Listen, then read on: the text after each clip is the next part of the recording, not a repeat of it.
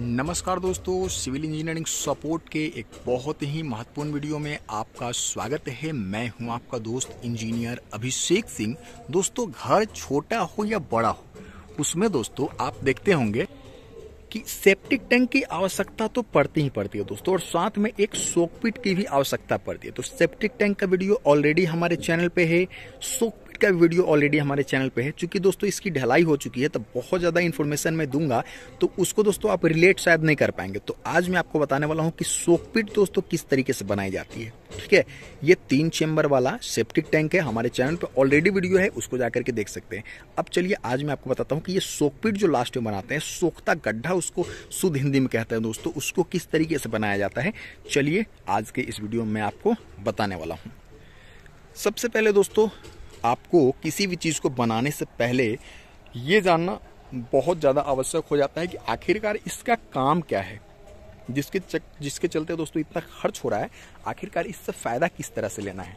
सबसे पहले बात कर लेते हैं दोस्तों आप देख सकते हैं डायरेक्ट इनलेट दोस्तों फ़र्स्ट वाले चेंबर में आएगा। अगेन सेकंड चेंबर दोस्तों दो चेंबर क्या होते हैं कि आपस में दोस्तों नीचे से दोस्तों कट रहता है अढ़ाई फीट का उससे दोस्तों दोनों कॉमन रहते हैं ठीक है? दोस्तों, दोनों चेंबर भरने के बाद में आप देखते होंगे कि वो दोस्तों वहाँ पे सॉलिड वेस्ट रह जाएगा दोनों चेंबर में, ठीक है? और जो तीसरा वाला रहता है दोस्तों, उसमें सिर्फ़ और सिर्फ़ ऊपर से चूँकि इस तरह से टेपर दिया जाता है, ठीक है? ताकि सिर्फ़ और सिर्फ़ पानी आए। और पानी कहाँ जाए दोस्तों? या तो आप उसको सोकपिट में डाल सकते हैं। सोकपिट का काम क्या है दोस्तों? कि पानी को जल्द से जल्द सोख लेना। दोस्तों सेप्टिक टैंक की बनावट सोकपिट से बिल्कुल अलग होती है। बिल्कुल प्लास्टरिंग होती है, उसके ऊपर पन्ना चढ़ाया जाता है दोस्तों मतलब बिल्कुल वाटर प्रूफ होता है वो, ठीक है? ना अंदर का पानी बाहर जाएगा, ना बाहर का पानी अंदर जाएगा, ना ही नीचे जाएगा, ठीक है? चूँकि नीचे से भी पूरी की तरह से दोस्तों उसको वाटर प्रूफ बनाया जाता है। लेकिन दोस्तों, पानी सूखने का कोई जगह नहीं होने की वजह से इस सोकपिट की आवश्यकता पड़ती है। इस सोकपिट में दोस्तों, काम यही है कि वहाँ से देख सकते हैं इसका इनलेट है सोकपिट का। तो दोस्तों, आप देख सकते हैं सोकपिट का इनलेट हमारा वहाँ पे है। तो यहाँ पे देख सकते हैं दोस्तों, ये वाला जो पोर्सन है, यही सिर्फ़ सोकपिट का है। वो सेप्टिक टैंक का है, वो सोकपिट का है। दोनों में आप बिल्कुल कन्फ्यूज़ मत कर जाइएगा। अब आप देख सकते हैं दोस्तों, चूँकि उस साइड में हमारा इस तरीके के खांचे हम नहीं छोड़ सकते हैं, चूँकि यहाँ पे आप जिस तरह से देख सकते हैं दोस्तों कि यहाँ पे बिल्कुल अंदर से वाटर प्रूफिंग की हुई है, ठीक है? तो इस तरह से खांचे हम नहीं छोड़ सकते हैं। तो इसलिए दोस्तों बाकी जो तीन दीवार हैं, आप देख सकते हैं, उस पर खाँचे छोड़े हुए हैं, इस सामने वाले पे खाँचे छोड़े हुए हैं दोस्तों, आप देख सकते हैं। ये देखिए, ठीक है?